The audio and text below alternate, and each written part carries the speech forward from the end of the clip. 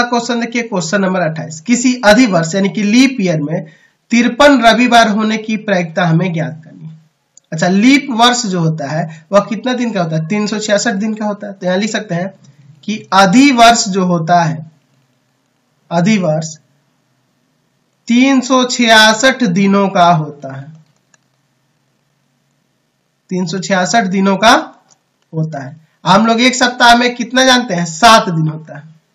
अच्छा अतः अगर हम लोग बात करें तो हमें पता है कि सप्ताह में सात दिन होते हैं और पूरे साल में बावन सप्ताह होते हैं।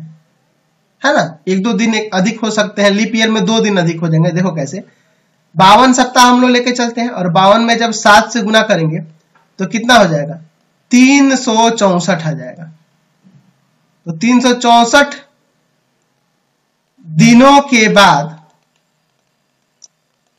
बाकी कितने बच गए? बाकी दो दिन बचे। बावन सप्ताह लिए तो दो दिन एक्स्ट्रा बचा ना जी।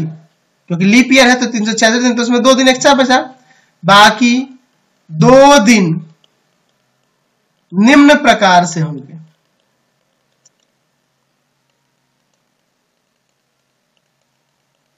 निम्न प्रकार से होंगे। कैसे हो जाएँगे? तो देखो, चूँकि हमें बात करना है तिरपन रविवार की।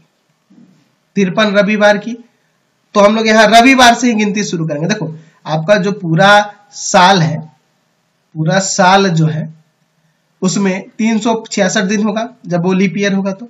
और अगर मैं बावन में गुना कर दू सात से, बावन किस लिए गुना कर? क्योंकि प्रत्येक साल में बावन सप्ताह होते हैं। सात से गुना करें, तीन दिन हो रहा है। ठीक है?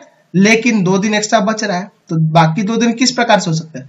हो सकता है आगे का दो दिन तीन दिन और तीन दिन। हो सकता है कि पहले रवि आ जाए और फिर सोमवार आ जाए।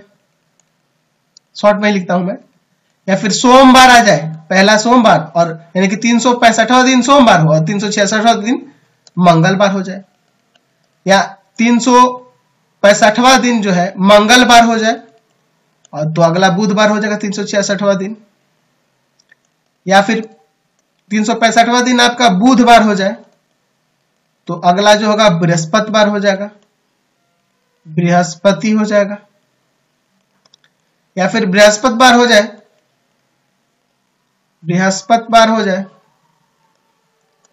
तो बृहस्पतिवार के बाद शुक्रवार हो जाएगा अगला दिन। शुक्रवार हो जाएगा। अच्छा अगर मैं शुक्रवार ले लेता हूँ, तीन दिन तो तीन दिन क्या हो जाएगा? शनिवार हो जाएगा।